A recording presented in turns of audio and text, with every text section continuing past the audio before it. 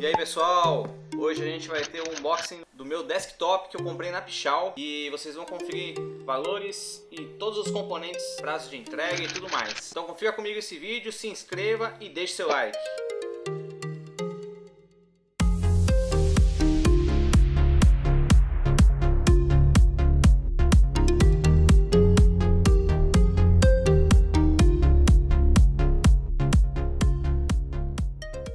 Pessoal, o computador eu comprei no dia 7 de março, chegou hoje no dia 17.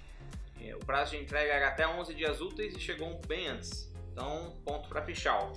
Eu já conferi aqui na nota que veio dois componentes diferentes, que essa é uma política da Pichal, tá aqui a nota fiscal. Não abri ainda a caixa, a caixa está lacradinha. É, quando você compra na Pichal e a sua peça ela não tem em estoque, então eles substituem essa peça por uma igual de outra marca ou superior. Então eu comprei um computador com um SSD de 480 GB e eles estão me enviando um de 512. Então 32 GB a mais aí. E também eu comprei uma memória RAM de 8 GB da GeForce Vulkan é, é, DDR4. Eu comprei de 3000 MHz e eles mandaram para mim uma de 3200. Então gente vai conferir os demais aí, pegou o que está na nota, tá tudo em ordem de acordo com o que eu comprei. Lembrando que eu comprei um PC semi-montado, né, que tem no site, e eu fui substituindo e acrescentando alguns periféricos. Então dentro dessa caixa a gente tem teclado, mouse e monitor também, tá bom? Então vamos lá.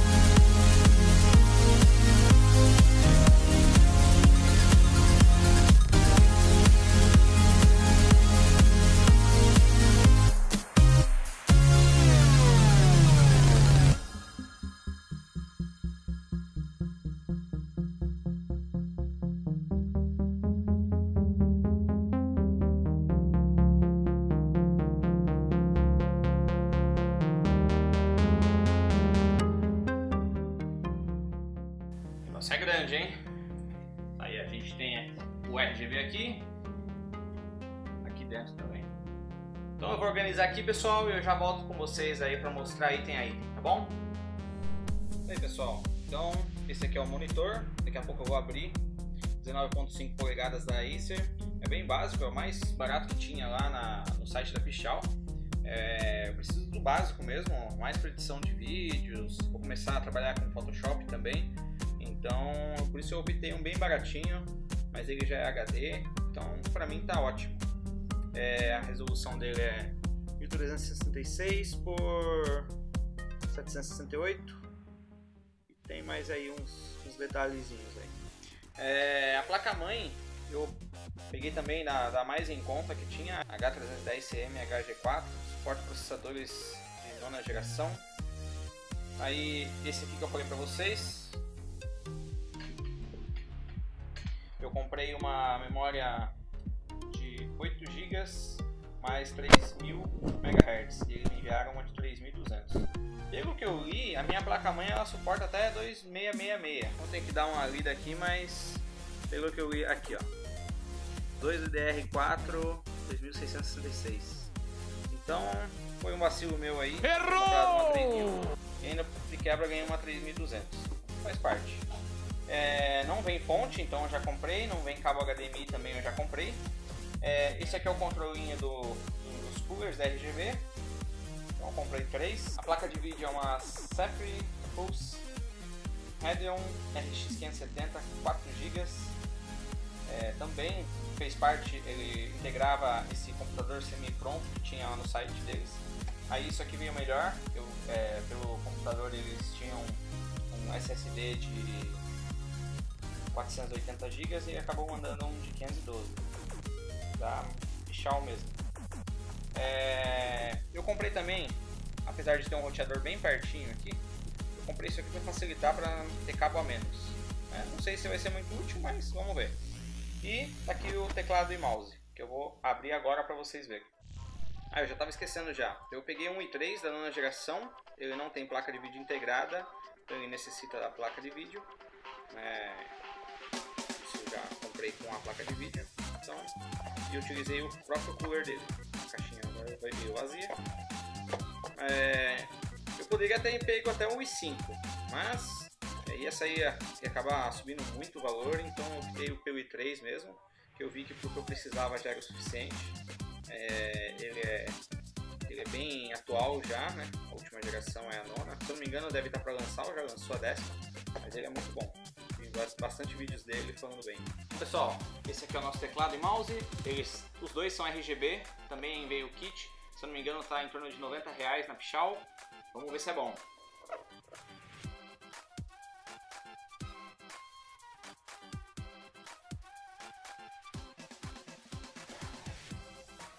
pessoal, veio bem embalado, bem protegido.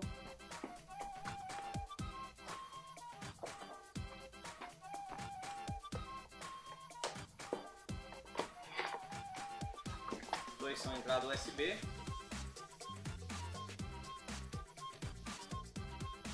Ó, bem bonito. Curti. Vamos ver com o RGB ligado. Ele não é mecânico,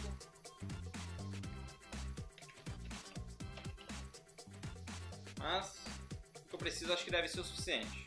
Eu gostei do cabo dele que, que é bem protegido, é como se fosse um tecido em volta. Bem bacana.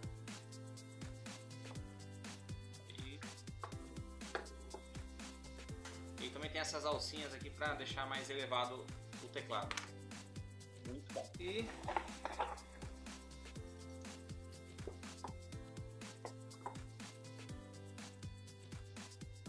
E esse é o mouse. Tem dois botões do lado. Um em cima. Pra bem a verdade para vocês, eu não sei para que serve, eu tenho que aprender. É bem grandinho, a pegada dele é boa. O dedinho ficou meio, nas, ficou meio solto aqui, mas os quatro dedos aqui demais ficou bem encaixadinho. Bacana. Comparado ao que eu tenho aqui, meu, deve ser a mil maravilhas. Detalhe que ele também veio revestido com esse, não sei que tecido, que nome que é essa linha aqui, mas aparenta ser durável. É isso aí pessoal, agora eu vou abrir para vocês aqui fazer um unboxing do monitor, então acompanhe esse time-lapse aí para agilizar esse vídeo.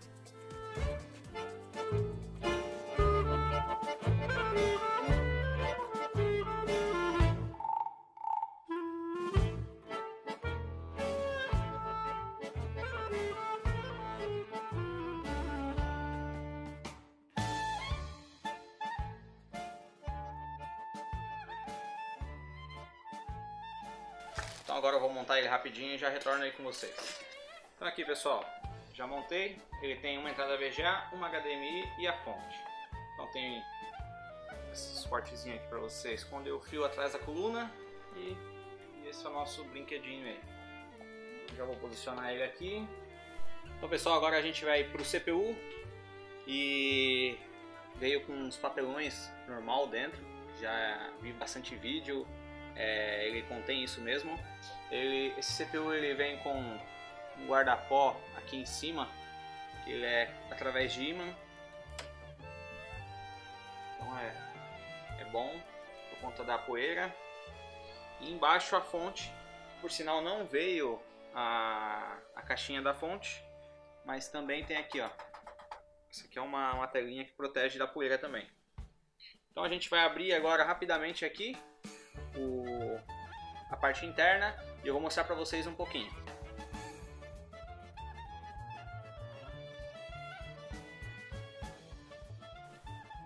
A lateral dele é de vidro temperado é, fumê, então ela é um pouquinho mais escurecida.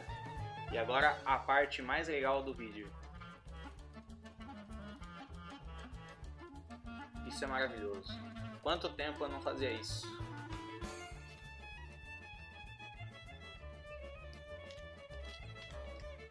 Que maravilha. Também tem na parte interna. tirar com cuidado o vidro aqui.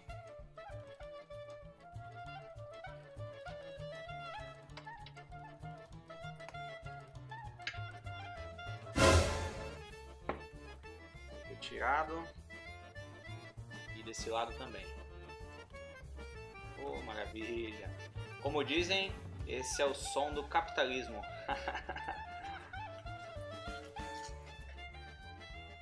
vamos deixar o vídeo de lado aqui um pouquinho.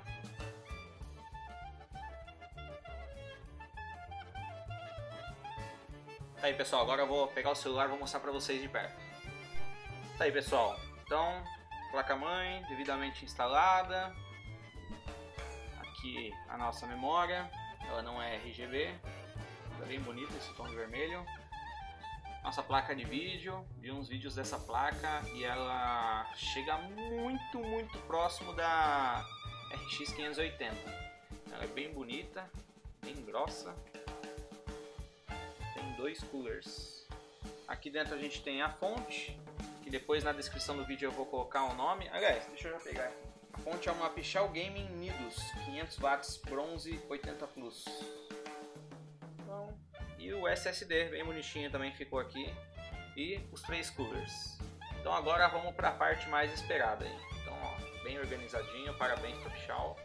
E pro atendente Kleber, que ele quem montou esse computador. Então vamos ver como é que vai ficar aí. E lembrando que ele também tem um, um RGB aqui na frente, que é, que é alterado por aqui. Então vou montar de novo, ligar os cabos e vamos conferir de perto aí como é que ficou. Isso aí pessoal, então a gente vai ligar agora essa belezinha. Ó, o mouse já tá no esquema aqui já, vamos lá. Então aqui em cima.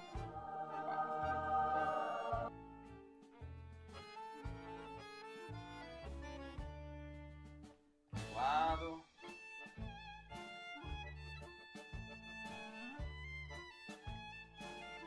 Os coolers.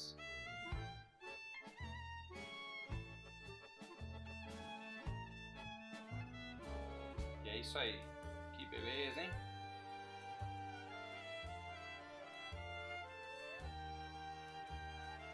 Tecladinho.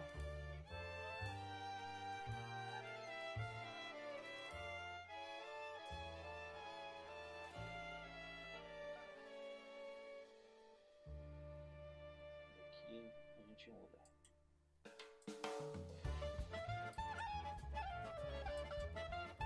Melhor eu vou desligar a luz aqui, peraí. Pessoal, modesto, 1 e 3. Mas eu espero de verdade que contribua para as edições. Que gente consiga editar melhor, produzir melhor, trabalhar no Photoshop em breve. Vender bastante e aproveitar e jogar um pouquinho também, né? É isso aí.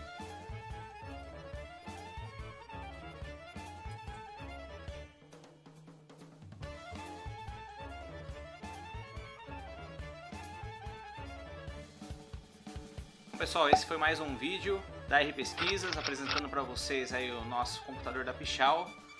Eu agradeço muito a atenção de vocês até agora, espero que vocês tenham gostado do vídeo e peço que vocês se inscrevam no canal, deixem o seu like aí no vídeo, compartilhem com seus amigos e deixa nos comentários aí o que você gostaria de ver rodar nessa máquina aqui, nessa belezinha, beleza? Eu muito obrigado e até mais!